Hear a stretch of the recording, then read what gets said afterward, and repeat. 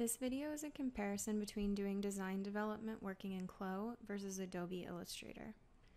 Most people use Illustrator to create sketches for their tech packs. What you may not always consider is that it can actually take quite a lot of time and the result is really limited. What I am demonstrating here is that in nearly the same amount of time that it takes to create a sketch in Illustrator, I can create a pattern from a spec and build a 3D garment in Clo. For your reference, I've been working in Adobe Illustrator for about 10 years, and I've been working in Clo for two months at the time of this recording. There are many ways designers can begin in Clo without having to draft a pattern from scratch like this, but to make a simple and clear comparison, I started from scratch in both programs. The only things created in advance were the assets like Illustrator brushes and fabrics in Clo. As I mentioned, the result from Illustrator is quite limited.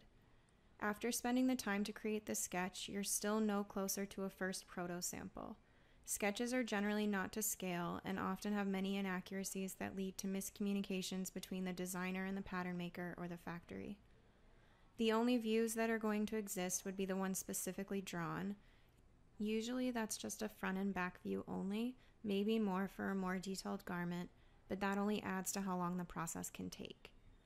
The result in Clo is the ability to view the design to scale from any angle, including the interior.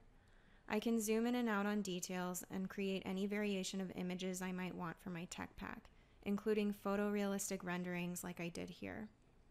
I also now have the pattern created for any consecutive samples, which means when updates are made, my pattern and my 3D sample and the imagery I can create from it are now updated as one. Though I didn't do so here, I have the ability to add seam allowance in Clo to create an accurate pattern for sample cutting.